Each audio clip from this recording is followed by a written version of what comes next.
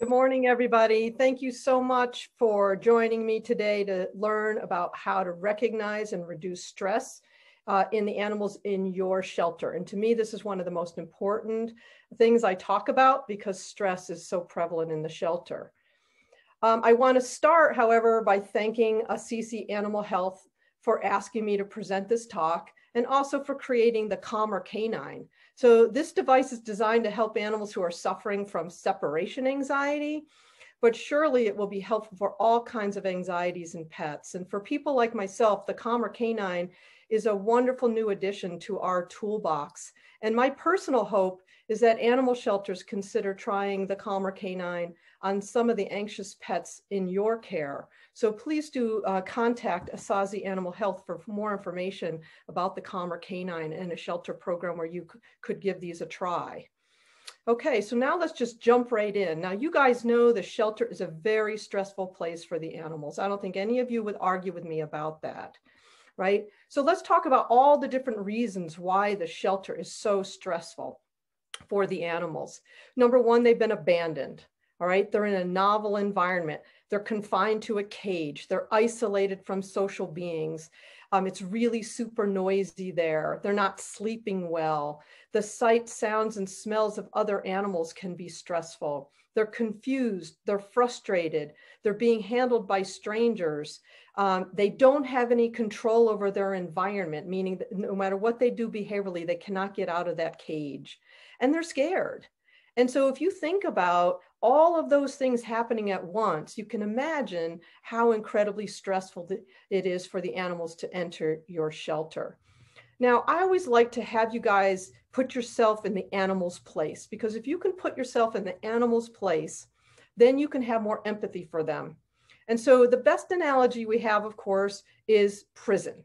Okay, so I want you to put yourself, you know, you're in your home, the cops knock at your door tomorrow morning, you're under arrest, put you in handcuffs, throw you in the cop car, take you to jail, throw you in a cell. Now, all of your freedom has been taken away, all of your control. I, I want you to sit and think for a second how you would feel in that situation. You would probably feel everything I just showed on that last slide.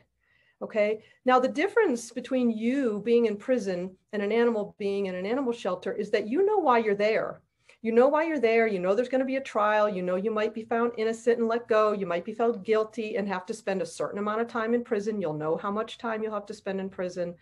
But the difference is we cannot explain it to the animals. We can't tell them why they're there right? We can't say, hey, man, if you just hang on another couple days, you know, the perfect family's going to come in. You're going to be sleeping on somebody's couch soon. We can't tell them why we've put them in prison. And so they just are under this stress without knowing anything about why they're there. And so we have to try to remember that um, when we put ourselves in their place, remember they don't know why they're there. So because of that, shelters really need to put a priority on programs that reduce stress and promote their physical and psychological well-being. What is psychological well-being? Well, that their psyche is well, that they emotionally feel okay because keeping the animals emotionally healthy is just as important as keeping them medically healthy because these two things are intertwined. All right. And so if you're emotionally unhealthy, that can lead to sickness. And if you're sick, that's going to affect your emotions. We know that from ourselves. All right. And of course, it's the humane thing to do. We put these animals in our shelter. We know it's stressful. We want to be as humane to them as we possibly can. That means recognizing the stress and doing everything we can to combat it. So let's start this conversation talking about cats in the shelter environment. So what are some stressful stimuli for shelter cats? Well, just about anything in a shelter can be stressful to a cat. The unfamiliar people, the other cats, the barking dogs, the strange smells, the loud noises, it's all stressful for a cat. All right. And so what's really important is for you to understand uh, how to recognize signs of stress in cats. And so cats can show a, a variety of different things that let you know that they're stressed. Some of them hide, some stop eating, some feign sleep or pretend to sleep. Um, some get very lethargic and socially withdrawn. Some become aggressive. And that aggressive behavior doesn't necessarily mean that there's a nasty cat. It's a defense mechanism. It's fight or flight when I'm trapped in a cage. Some get physically ill and have diarrhea. Some pant like a dog. Some will vocalize. Some just sit there hyper vigilant, you know, which is like looking around constantly. Um, sometimes you see changes in their in their bodies and and things like their pupils will dilate or get really big. Piloerection means hair standing up. Uh, their tail will swish. We know their tails swish when they're feeling irritated. Um, they'll clinch, muscle tension. They'll just clinch and not move. Some of them stop grooming and some of them excessively groom. Um, some of them disrupt their cage bedding and some of them try to escape these are all signs of stress in cats in the shelter environment. Really important that you recognize all of them because every cat might show something different. Some might show only one of these, some might show multiple of these. Okay, and so we see them all in the shelter. We see lethargy and depression in cats. We see disruption of the cage bedding. We know it's so irritating. You, you get it all nice and pretty and you go away for 10 minutes and come back and it looks like this. You know, this is stress. Um, you see hypervigilance, you know, again, and that's where they're just constantly vigilant, looking around, what's going to happen to me? We see attempts to hide. We see a motionless body. We see vocalizations and attempts to escape. So we see all of the things that I just listed, we see them. But unfortunately, the most common sign of stress in a shelter cat is the lack of behavior, where they just lay in their cage still, right? Maybe they're feigning sleep, pretending to sleep. That means that we miss a lot of stressed cats. When we're doing our walkthrough every day to assess how everybody's doing, which I highly encourage you to do, you're going to miss some of these cats because they're just basically shut down. And if you just glance into the cage and see him laying in a bed like this, you might say, oh, he looks comfortable, he's sleeping. When in fact, this cat is stiff, this cat is vigilant, and this cat is wide awake. Okay. And so you really got to look closer to make sure you're not missing the cats that are just completely shut down. Also look for cats that really don't move about their, their uh, enclosure. So let's talk about stress reduction for the shelter cats. Right. So what's really important is that stress re reduction starts the moment they enter your facility. So remember, first impressions are everything for all of us, for animals as well as humans. And so from the moment they enter the facility. So let's talk about intake.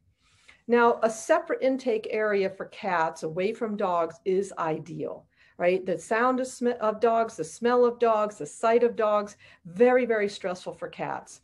If you don't have separate intakes, make sure all the cats are inside a carrier. And if the carriers have, you know, visibility that there's towels uh, to cover them. So you should have carriers and towels at the front desk to be able to, to help those kitties that come in.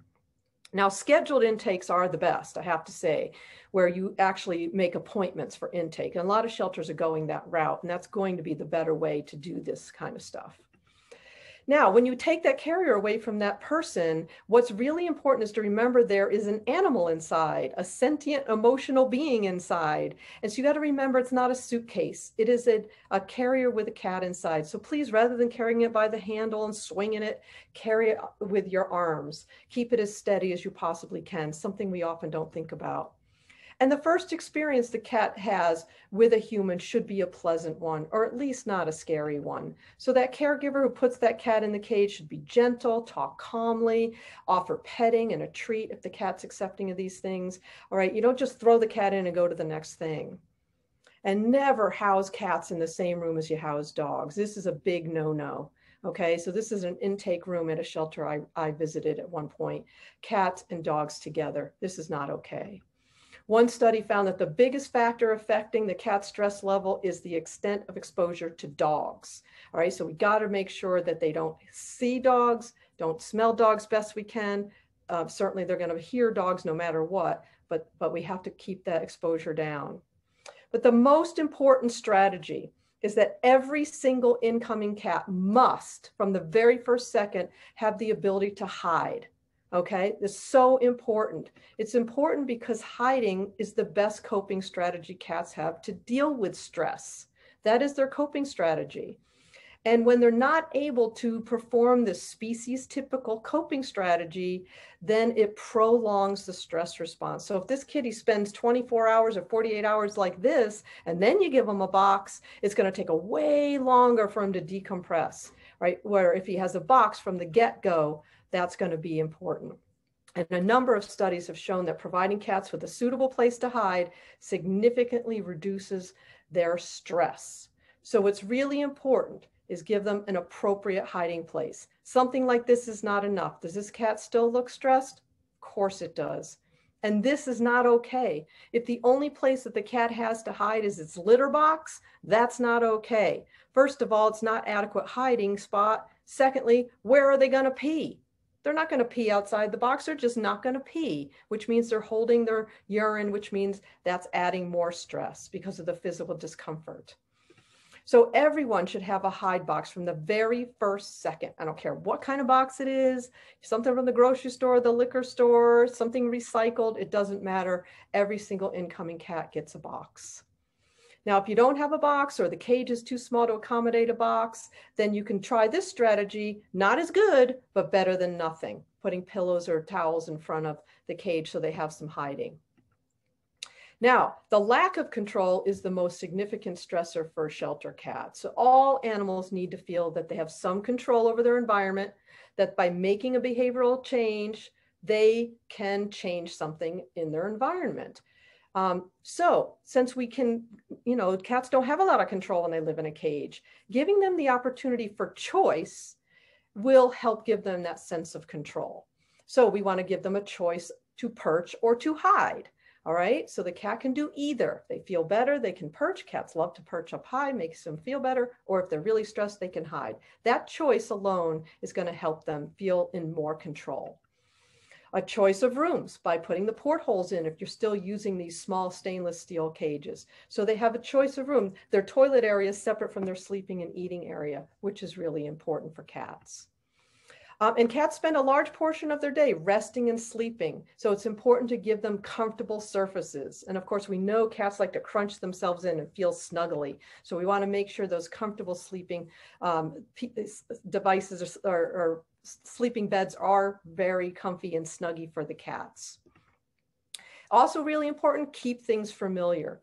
The unfamiliarity is really stressful for cats. So when they have a different caregiver every day, that's stressful. Try to keep it the same. Everyone needs a day off, but keep it basically the same few people. Being moved from cage to cage, really super stressful. Keep them in the same cage. Maybe from the holding to the adoption floor would be their only change. And when all the things that are familiar to them are removed every day, that's really super stressful. So the recommendation of the shelter medicine folks for the last 15 years has been spot cleaning cages. We don't take away everything that smells familiar. We just spot clean, okay? And if you do have to clean the entire cage, you wanna make sure you leave something with the cat that has that scent. All right, so I always recommend a rubbing cloth at the front of the cage that's gonna stay with that cat. They'll rub on it, it'll just take on its scent just because it's fabric. All right, you want to keep the schedules predictable. Cats don't like the unpredictable. So stick to the same routine as close as you can for feeding time, play time, petting time, enrichment time, and most importantly, the chaotic cleaning time. If you can predict a stressor, you can cope with it better. So if it's about the same time every day, they learn to cope with it. Playing calming music, soft soothing music has been shown to have a calming effect on animals. And of course, also playing music during the day is going to prevent that startle effect when a noise occurs. And so we got to have nice music playing um, during the day. Some noise reduction important. So one of my pet peeves is putting a, a boombox radio on top of a bank of metal cages because it vibrates the whole cages and that adds to their stress. Put the radio on a shelf or on the floor. Keep the volume low. Cats have way better hearing than we do. Play only calming music and turn it off at night. They need silence to sleep. And we want staff to be quieter. No slamming those metal doors. That's it's, it's horrible. Just imagine, not only is it loud and scary, but it vibrates that whole bank of cages. And try not to yell when you're in there. And you know, you're yelling to your coworker. It's, it's just not okay. Keep things quiet. And calm social interaction, of course, can go a long way. And of course, I'm talking about the socialized cats, not the feral cats, but petting them and talking to them and giving them some interaction is really important for stress reduction. They also want out.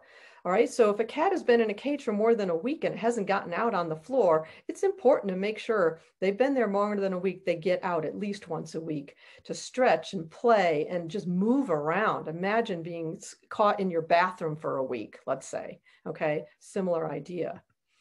Um, and then you can even try the calming pheromone. So the synthetic version of the facial pheromone that cats emit when they're calm and comfortable is in the product called Feliway.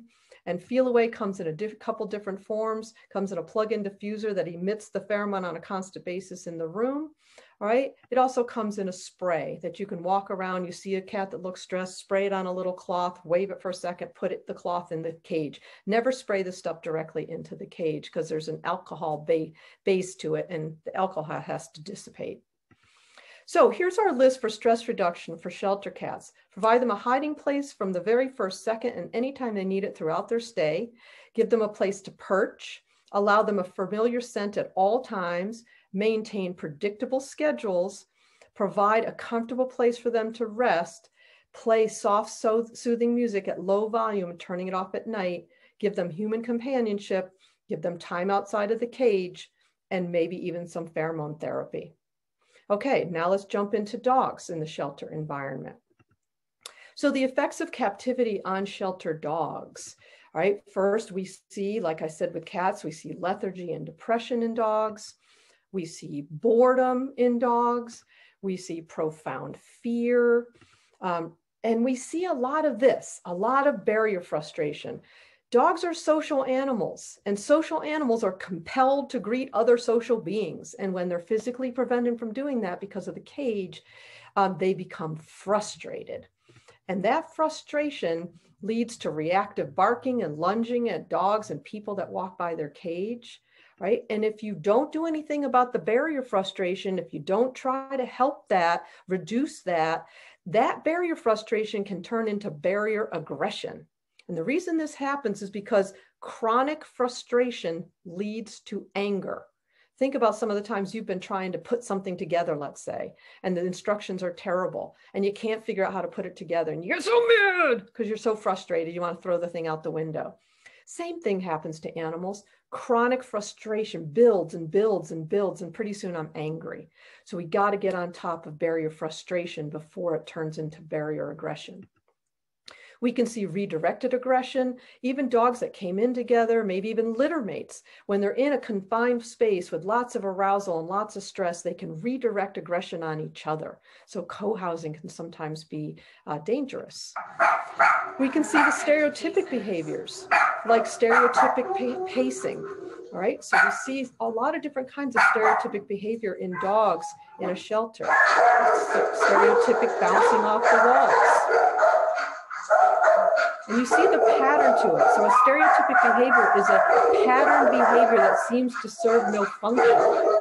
Right, we see these stereotypes developed in shelters when these animals are very stressed, and they vary in how they manifest. And again, it's this repetitive motion, and so we can see all different kinds of stereotypic behaviors in shelter dogs. Now, the thing about stereotypic behavior is that not all dogs succumb to show stereotypic behavior. There is a genetic component to it, but what's really important is we want to prevent this from triggering because we don't know which individuals are prone to it. And but we do know that once it starts, we can't stop it. There's no stress reduction that'll stop it once it starts. And then we just got to get that dog out of the shelter any way that you can through foster and aggressive adoption programs. Because if they do this long enough, it's going to stay with them forever. So really important to, to reduce stress as soon and as best as possible to prevent the ones that have this propensity from triggering to it. So let's talk about stress reduction for the shelter dogs. Again, as I said with the cats, it should start from the first minute the dog enters the shelter. Really important to provide them a comfortable environment. And so whether it's a Kuranda bed or a half crate or blankies and quilts and things like that, really important to give them a comfortable environment. I oftentimes go to shelters and I go back to the holding and it's just bare.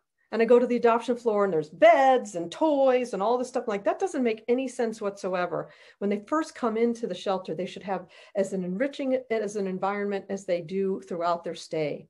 The dogs that come in should be given comfortable places to rest, should be given toys, should be given enrichment.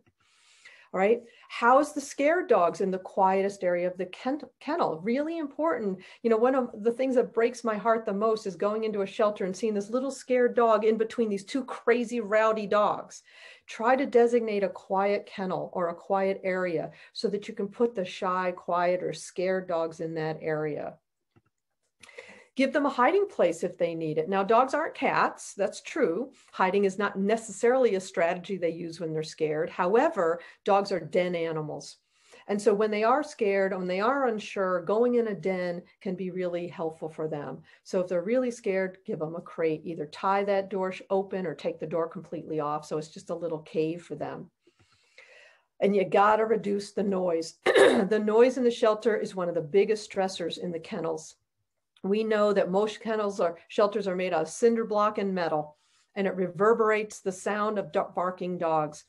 And the decibel level can go so high that it's not, not healthy for us or the dogs. And so it's really important to try to reduce the noise.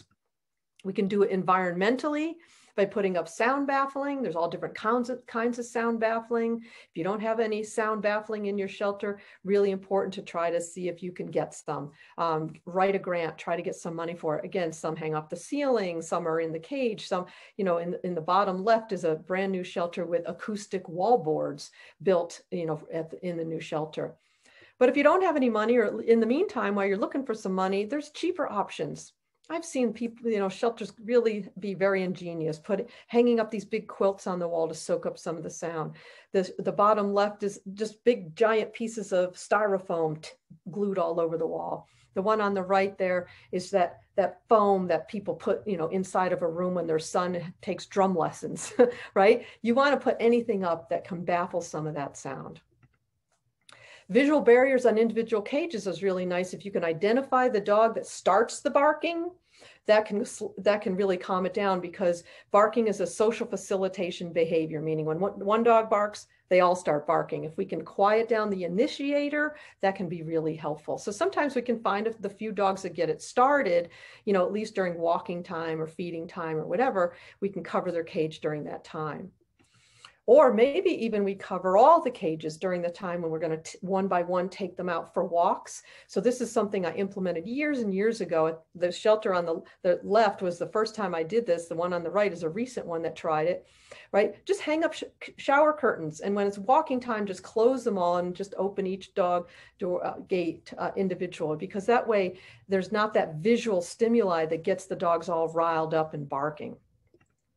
We want to play calming music. Again, as I said with the cats, and the Through a Dog's Ear and the Through a Cat's Ear uh, CDs are really great for that. It's just classical piano music. The research on this music was done actually in a large shelter, and they have a shelter program. So you can get on their website, tap on the shelter program, fill out the form, and get a free copy of one of these uh, calming music CDs. But of course, you can just play the radio, play calming music on the radio. Provide calm social interaction at the cage front. Remember that cage is really stressful for them. If people are just walking by all the time, ignoring them, that gets them, uh, you know, all riled up from the frustration. Um, sometimes people just go up to them and the dog, rah, rah, rah, the dog's barking. You got to give them calm interaction, calm them down so they don't get triggering to barking um, every time somebody comes up to their cage. Give them time outside of the cage, really important. Give them time to decompress in a in an office or a real life room, right? The bottom right is the one, my real life room when I was the behaviorist at the MSPCA. And it's just set up like a, a living room in a home. And the top one is one of the shelters I work with. So get, you know, just designating a small room you're not using, a storage room you can clear out um, for and make it a nice real life room. So get them out of that that arousing environment for a while. And of course, social contact is so important. petting them, brushing them, just hanging out with them, just give them calm social contact. Oftentimes they have the cage and then they have their walk. Now, their walk is super important, but so is just quiet time with a human outside of the cage. Um, actually, one study found that just being in the room with a person, even if the person is not paying attention to the dog, reduces their cortisol level. Cortisol being that stress hormone that goes up when animals are stressed.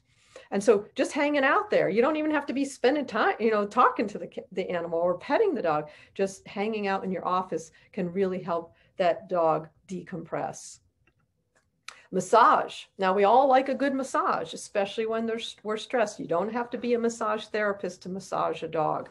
Just that nice, gentle pressure, massaging them, releases all these endorphins, really helps calm them down. And of course, predictable schedules are important with dogs as they are with cats, right? We want to make sure things are predictable because when your environment is predictable, it's less stressful. Think about what we do in our lives. We get up, we do the same routine. You know, on work days, it's the same. On the weekends, a little different, but we have our routine. We like predictability. All animals do. And in a stressful environment like the shelter, when there's predictability, it really helps. So they're not wondering, when am I getting my walk? You know, um, when do I get my food? When do I get my enrichment? So really important to try to stick, you know, not to the minute, but certainly about the same time every day really helps them.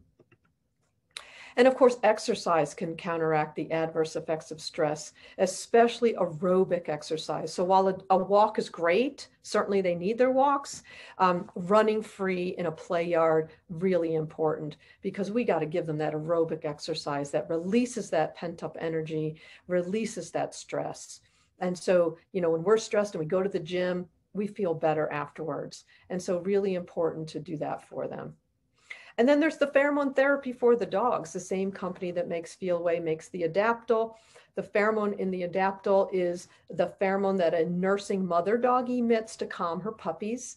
And it, it, same process, they synthesize this pheromone, put it in this product. There's clinical research that shows that it helps calm some animals not all animals, nothing works on everything, but it certainly is um, can be helpful and it's worth a try. And then, of course, you guys have heard of the Thunder Shirt. Now, the Thunder Shirt, the concept of the Thunder Shirt is when you put constant pressure on the sensory receptors, you calm the nervous system. And so the original work with the Thunder Shirt was for thunderstorms, but we know that like the Calmer Canine, it's probably going to help other things too, and it does.